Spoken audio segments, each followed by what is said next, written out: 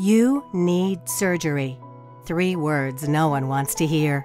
I cried, I fussed, I was hysterical for t- at least two weeks before my appointment. Oh, it was. It was very, very stressful. But it doesn't have to be. Judy made a decision that had an outcome she never expected. If I knew it was going to be this easy, I would have had it from day one. I couldn't believe how much of a, not a piece of cake, but it was pretty easy recovery. What do Judy, Marianne, and tens of thousands of other women have in common? They had Da Vinci surgery. This video will explain your surgical options for a hysterectomy, what Da Vinci surgery is, and what's involved, and Da Vinci's potential benefits to patients. So, what are the main reasons women have a hysterectomy?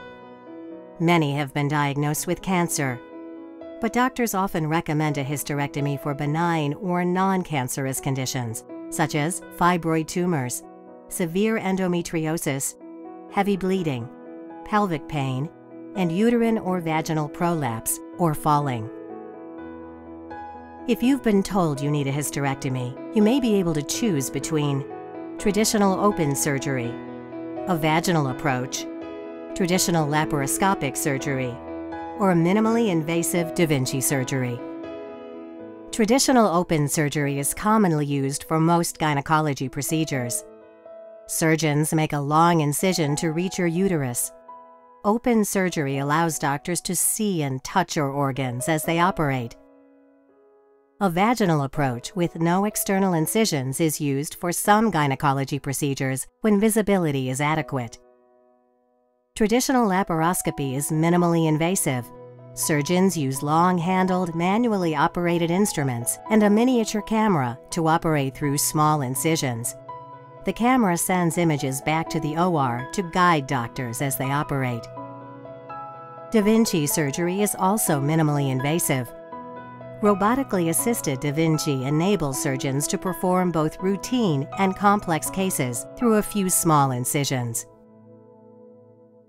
The Da Vinci surgical system is 100% physician controlled.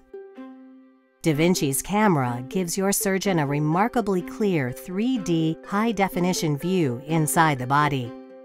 Da Vinci instruments have tiny wrists that can bend and rotate far greater than the human wrist. Surgeons say it's as if their hands are miniaturized and working in your body. As a result of Da Vinci technology, Da Vinci hysterectomy offers the following potential benefits compared to open surgery. Less blood loss, fewer complications, a shorter hospital stay, and minimal scarring. And compared to traditional laparoscopy, Da Vinci hysterectomy offers the following potential benefits.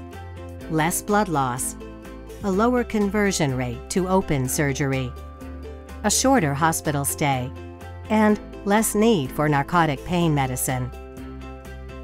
Potential risks of any hysterectomy, including Da Vinci, are separation of the vaginal incision, blocked lung artery, urinary tract injury, and hernia.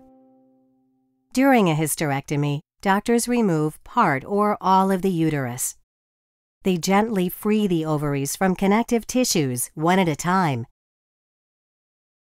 Then carefully remove the uterus, the cervix, both fallopian tubes, and both ovaries. The surgeon then stitches the internal opening closed, again, all done through small incisions on the lower abdomen. The residents graduate and have a big party in June. Um, and I don't like to miss a party. And I went to the party, and I was like five or six days post-op, and they were like, "What are you doing here?" But I was even on a dance floor. I said I wouldn't have been like this, been able to come to the party and dance on the dance floor if I would have had major abdominal surgery. It, it was amazing to me that I didn't have any pain. I, I had the surgery Friday, came home Saturday. By Sunday, I had company. I was up, dressed, showered. Um, I was feeling fine. It was amazing. I was totally amazed that I felt this great. You should discuss the specifics of your operation with your doctor. The extent of the surgery will depend on your individual condition. Ask your doctor about all treatment options for your condition. Ask about what you can expect before, during, and after surgery. Ask about Da Vinci surgery.